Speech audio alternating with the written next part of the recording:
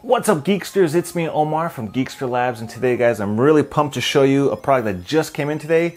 I have the Apple Watch 6 in red version. This was actually supposed to come next week but for some reason it got delivered early so I'm super excited to show it to you so I'm going to do a quick unboxing of it and give you guys my first impressions and thoughts of the Apple Watch 6. So let's check it out.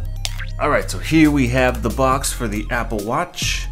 So let's see what is included in the box. As you guys, if you guys saw the announcement, the uh, controversial part of that was supposedly it's not going to have the the uh, AC adapter inside here, the wall adapter. So what is this?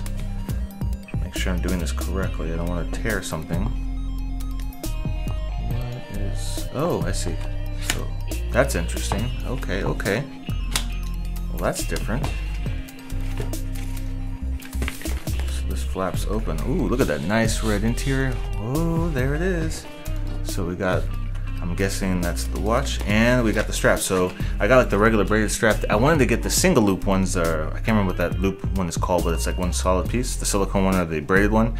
Those weren't available for the red. I don't know why. And it didn't let you pick any other colors. You had to pick a red strap. So this was the only one that was available if I wanted to get the uh, Apple Watch now. Otherwise, it would have been on back order if I wanted to get one of those other straps that come with it. So I don't know why they would announce it and then not have them ready to go. So let's let's check out the strap. I'm pretty sure this is the similar strap that's been available previously, I think. I'm not sure if they've had a red one actually.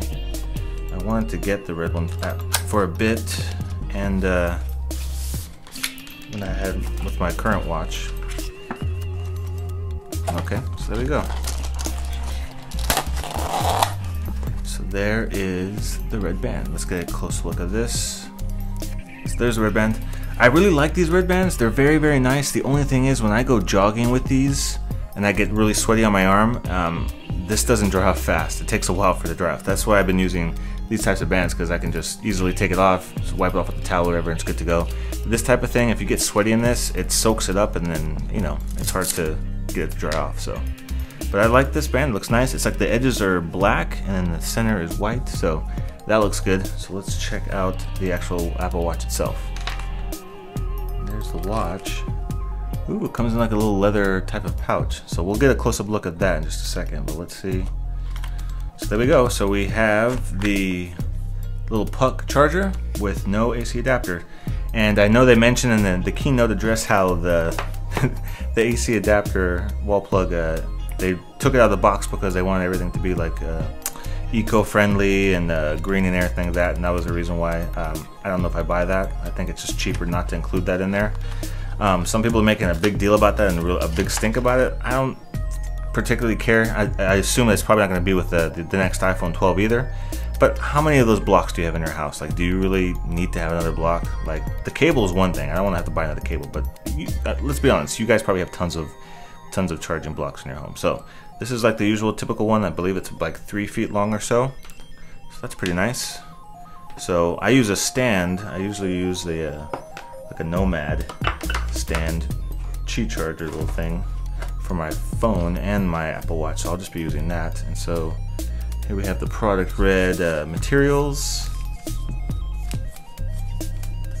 information. So all that stuff comes in there. So let's check out the watch itself. All right, so here we have like a little cover I think this is just paper. It doesn't, it kind of feels like leather, but it, I don't think it's leather. So let's slide this out. And that is red. That is really red, and I love it. I am a big fan of red. I will say that um, now that I see it in person, it is a little bit deeper. I was hoping it wasn't going to be too bright. Because, I mean, can you imagine trying to dress up, wearing a suit, and having like a bright red watch on your wrist? Um, but if that's the case, I probably wouldn't be wearing this band. I'd probably wearing just a black band, and I think it might be a little more subtle and blend in a little bit better. But uh, that is definitely red. Red's my favorite color. They never had a red Apple Watch, so when I, they announced that, I was like, I instantly knew that's the one I wanted to have. So that looks pretty dang sharp. I'm liking that. So for those of you that aren't aware, I currently use the first generation Apple Watch. I bought this five, six years ago. Six years ago, yeah. I've been using this for six years, and so I'm, you know, I'm not usually one to like to buy the brand new thing, except for the iPhone. I'll get the iPhone every year, the new iPhone. But when it comes to the Apple Watch, it, you know, it was fine. But now that I'm doing a little bit more working out, more running, getting into shape, and uh, I can't even update this to the latest uh, Watch OS anymore. It's been a while since I've been able to update that. And so there are lots of cool new features and things I want to be able to use.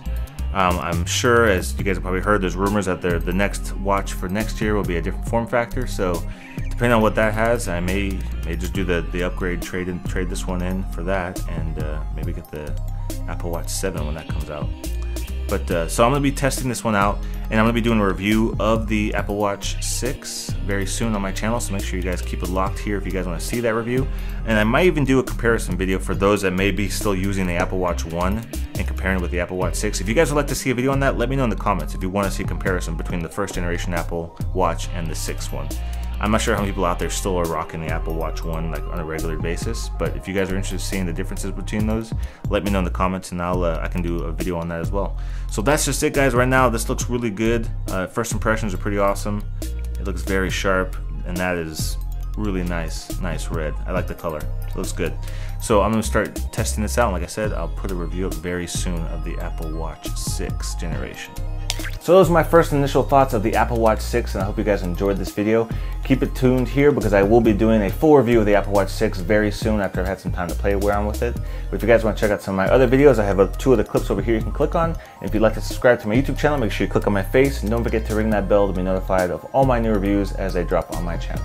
And I'll see you guys in the next video review.